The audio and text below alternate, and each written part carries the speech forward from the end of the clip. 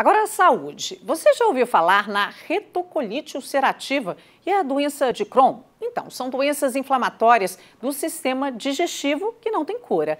Apesar disso, é possível sim, viu, ter qualidade de vida com a diagnóstico correto e tratamento adequado.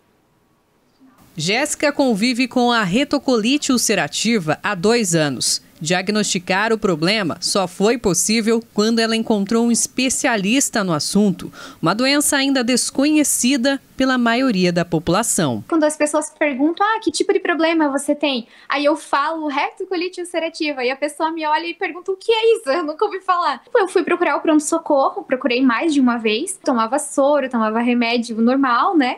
E nada acontecia. Foi aí que eu cheguei num gastroenterologista que me indicou fazer a colonoscopia. Né? Retocolite ulcerativa é uma doença que provoca inflamações e úlceras no intestino grosso e no reto, o que causa sintomas como diarreia, hemorragia, cólicas e febre.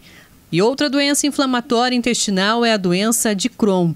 A diferença é que ela pode ocorrer em qualquer lugar do sistema digestivo. Não é muito comum assim dela o paciente ter diarreia, mas ela pode ter assim uma dor na barriga, cólica, uh, na região anal pode aparecer uh, doenças como abscessos ou fístulas, uma perda de peso, uma anemia. Para fazer o diagnóstico da, dessas doenças, da doença inflamatória, é, a colonoscopia. A estimativa é que 13 em cada 100 mil pessoas no país sofram dessas doenças crônicas intestinais. Aqui em Santa Catarina, só pela associação que atende esse público, são 358 pessoas diagnosticadas, a maioria mulheres.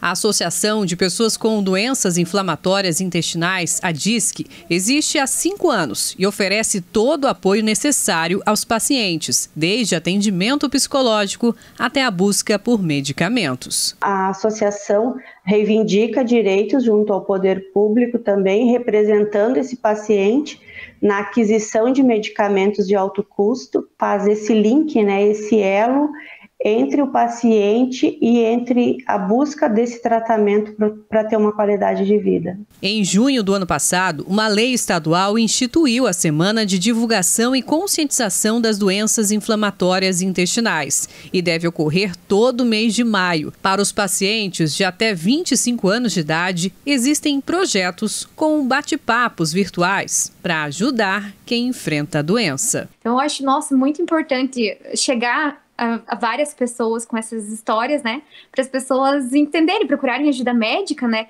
E até ajudar alguém que esteja próximo, né? Porque com tudo isso a gente às vezes acaba não sendo muito compreendido com, pelas pessoas que estão ao nosso redor, né?